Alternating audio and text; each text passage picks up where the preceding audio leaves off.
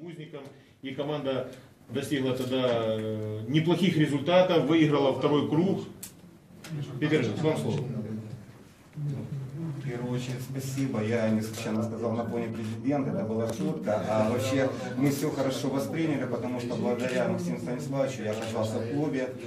А, Поставлены очень серьезные задачи, и самое главное отходится от общественности футбольной, от журналистов четко понимать, что после определенных событий футбольный клуб «Звезда» он, в общем-то, знаете, выбрал вектор развития европейского футбола. Это не громкие слова, вы сами видите, те действия, которые начинаются делать в клубе. Это структурные изменения, это вектор, знаете, в общем-то, не просто меняется первая команда, а первая команда, вы сами прекрасно понимаете, она должна меняться, это локомотив. Все достижения клуба сверяются по первой команде. Но формируется вторая команда, формируется третья команда, это молодые ребята, 21 год, 19-летние, меняется направление работы академии. То есть, э, знаете, можно легко сказать, что давайте, в общем-то, мы поменяем вектор развития клуба. Но вот как раз, знаете, что, в общем-то, меняться будет в клубе? В первую очередь, это философия. Это футбол, который должен приносить радость болельщикам в первую очередь.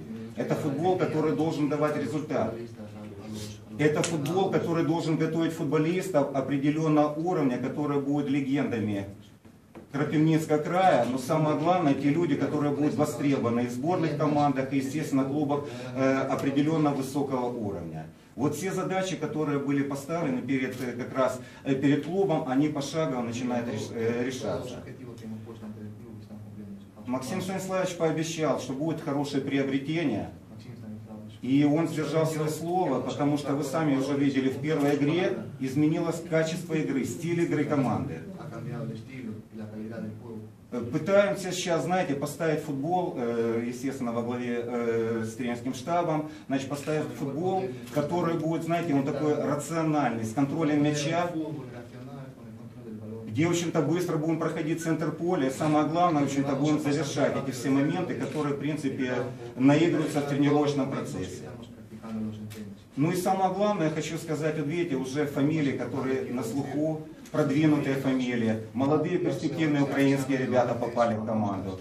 Я хочу еще э, сообщи- одно сообщение сказать. Значит, не далее как вчера состоялись выборы капитана команды. И сегодня Федерико Перейра является уже полноправным капитаном команды. И в следующем матче он уже будет выводить команду, в общем-то, в качестве капитана. И плюс наши ребята, там уже вице-капитаны, создан тренерский совет. И хочу сказать, знаете, идут системные процессы. Поэтому у меня просьба, в общем-то, к общественности, особенно к болельщикам, которые ждут результата условно сегодня. Мы будем биться за каждой игре, писать историю футбольного клуба.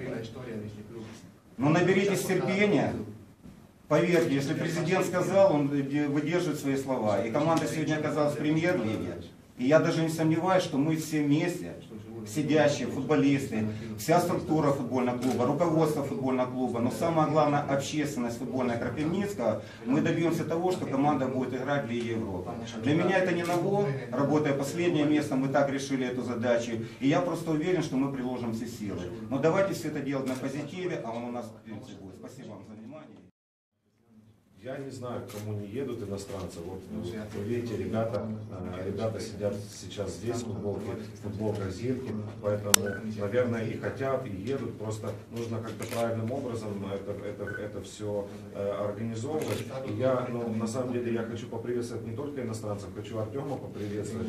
Э, У него, у него украинский паспорт, да, но от этого он, он не, не, не есть менее значимое приобретение. А наоборот, это, ну, мы, мы считаем, что за молодыми игроками, э, украинскими игроками будущее и Зирки, и вообще украинского футбола в целом.